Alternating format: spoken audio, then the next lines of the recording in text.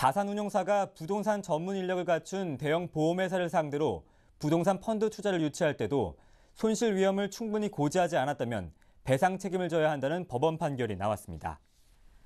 금융투자회사가 상품 권유 단계에서 누구에게나 투자자 보호 의무를 다해야 한다는 원칙을 다시 확인한 판결입니다.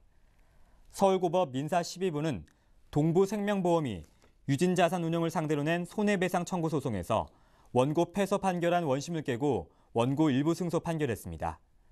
재판부는 피고가 운용계획서에서 원금 손실이 발생할 위험성이 거의 없다는 오해를 유발할 수 있는 표현을 사용했다며 합리적인 투자를 할 수 있도록 원고에게 올바른 정보를 제공해야 할 의무를 다하지 못했다고 밝혔습니다. 동부생명은 2006년 3월 대구 산격동 아파트 재건축 사업에 투자하는 사모펀드에 50억 원을 투자했으나 시공사의 갑작스러운 부도로 큰 손실을 떠안게 되자 유진자산 운용을 상대로 소송을 냈습니다.